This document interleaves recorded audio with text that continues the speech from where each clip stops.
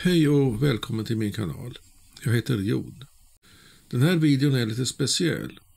Det är den sista i den här serien inför högskoleprovet. Och jag hoppas ju verkligen att det går bra på provet. Inte bara hoppas, utan snarare vet. För provet är en fråga om träning och dedikation. Och ni som ser på den här videon, ni har vad som krävs. Så till förberedelserna, nu när det är en vecka kvar. Den här bilden visar målgången i bergsmaraton nära Matterhorn. Och så är det med högskoleprovet. Det är ett långt maratonlopp och nu är målet i sikte. Var hålls provet? Den här första punkten kan verka överflödig. Men jag har skrivit fyra gånger och det har varit i tre olika skolor. Så en sista koll. I vilken skola äger provet rum?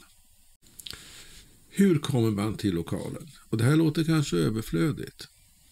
Men för mig var det en överraskning att upptäcka att det helt enkelt inte finns någon kollektivtrafik som tog mig till provlokalen på morgonen på en lördag eller söndag. Och detta trots att det finns massvis med bussar under veckan. Så en extra koll beroende på var du bor. Hur kommer du till lokalen? Och kör du bil, var kan man parkera? Inspektera gärna lokalen i förväg. Har du möjlighet, gå dit. En viktig fråga det är om det finns klocka i skrivsalen. Att känna till sådana här saker och att hitta till salen, det ger trygghet. Och för mig så minskade stressen. Klädkoden. Till min förra video i den här serien gjorde jag en video om lämpliga kläder. Den är inte lång, men den ger några av mina erfarenheter och länk finns i filmbeskrivningen. Och det ger självförtroende att veta att man har gjort allt. Att man har bra linjal, man har bra tröja och man ser till att man får en temperatur kring sig som är optimal. Maten. Jag har gjort en video om optimal mat och länk finns i filmbeskrivningen. Jag är faktiskt lite förvånad över hur dåligt och oplanerat många verkar äta. Och i de skolor där jag har skrivit, där har det inte funnits någon matservering eller café som varit öppet. Sedan jag gjorde min video om mat har jag utvecklat mitt tänkande något. Senast gjorde jag som Vasaloppsåkare gör. Jag åt ganska lite under dagen före provet. Men vid sängdags åt jag en stor portion pasta för att riktigt fylla mina kolhydratdepåer. Eh, placebo eller inte, jag vet inte. Men det fungerar i alla fall på så sätt att jag var starkare under sista provpasset än vanligt. Ska man fortsätta studera under sista veckan? För någon säger att det man inte har lärt sig på ett år, det lär man sig inte på de sista dagarna. Så koppla av och gör något roligt kvällen före. Men det här tror jag är fel.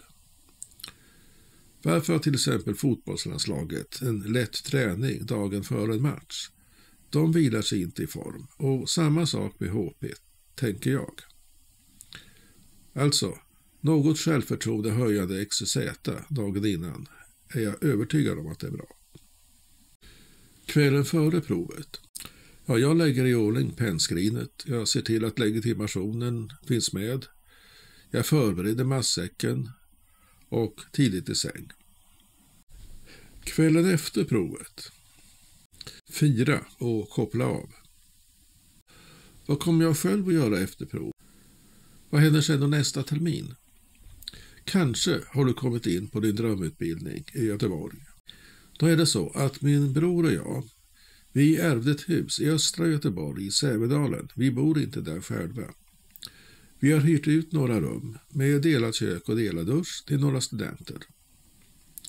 Vi vill bara ha hyresgäster som är vana vid att bo själva, som kan klippa en gräsmatta och som tycker om att det är bra att bo i ett lugnt villaområde. Det är alltså inte hiss rakt ner till Götaplatsen eller så.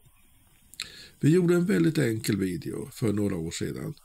Den heter Vårt hus i Sävedalen och länk finns i filmbeskrivningen. För rätt personer är det här ett väldigt bra boende för den som inte är rätt person är det inte bra att eh, bo i en förort som Sävedalen nära Östra sjukhuset. Men tack så väldigt mycket för att ni har följt mina videor och lycka till på provet. Hej då!